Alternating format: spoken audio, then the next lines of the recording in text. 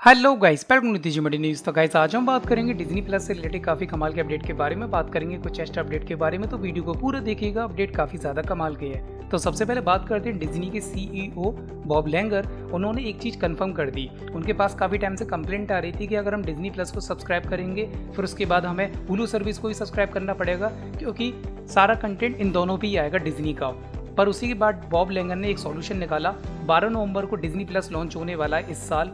United state में, उसके बाद इंडिया में भी लॉन्च हो जाएगा। तो उन्होंने सॉल्यूशन ये निकाला कि तीनों स्ट्रीमिंग सर्विस का पैसा आपको एक बार में देना पड़ेगा, यानी कि बारह डॉलर, करीब नौ सौ आपको हर मंथली इनका देना पड़ेगा। उसी के साथ उन्होंने ये सॉल्यूशन तो निकाला, उसके बाद उन्होंने एक चीज़ और कंफर्म करी। फॉक्स स्टार स्टूडियो की जो मूवीज़ थी, जिसमें कि होम अलोन जो कि नाइन्टीज़ की सबसे पॉपुलर मूवी थी, इसकी रिबूट आएगी। जी हाँ जो कि डिज्नी प्लस में हमें दिखाई जाएगी। उसी के साथ नाइट एट द म्यूज़ियम ये भी काफ़ी कमाल की मूवी थी, ये भी मूवी रिबूट होगी। यानी कि पहले के जो तीन पार्ट आए थे, अब उनसे कोई मतलब नहीं है, अब डिज्नी दोबारा से इनको रिबूट करेगा। उसी के साथ बॉब ने एक और चीज़ कंफर्म करी कि एक्समैन के जो कैरेक्टर हैं और जो फैंटास्टिक फोर के कैरेक्टर हैं, वो मावर स्टूडियो का ऐसा पार्ट होंगे।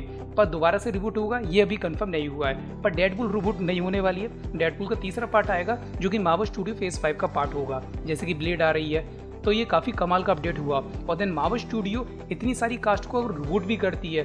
तो मैं तो ये कहूँगा कि मार्वल के लिए बहुत टफ चैलेंज होने वाला है, क्योंकि हर एक कैरेक्टर को दोबारा से रिकास्ट करना बहुत ही ज़्यादा डिफ़िकल्ट है।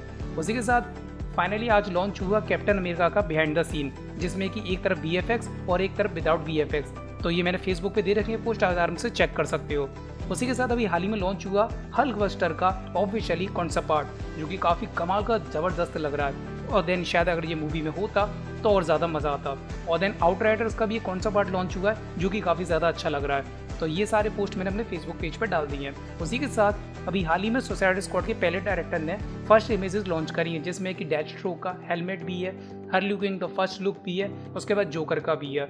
पर अब तो सोसाइटी स्क्वाड रिबूट हो रही है, आप सभी को पता ही है। तो देखते हैं कि आने वाले फ्यूचर में हमें कौन सा कैरेक्टर किस तरीके से देखने को मिलता है। तो गाइस कैसा लगा अपडेट कैसा लगा वीडियो अगर आप ये वीडियो यूट्यूब पे देख रहे हो तो मेरे चैनल को सब्सक्राइब करें फेसबुक पे देख रहे हो पेज को लाइक करें। रियल में आपको जो वीडियो पसंद आता है तो प्लीज़ लाइक कमेंट शेयर करो। जो बंदे इस वीडियो को नहीं देखे या तो उस पर लोकी के हाथ मारो या पैर मारो। पर और कुछ मत मानना। बाय जा रहा हूँ।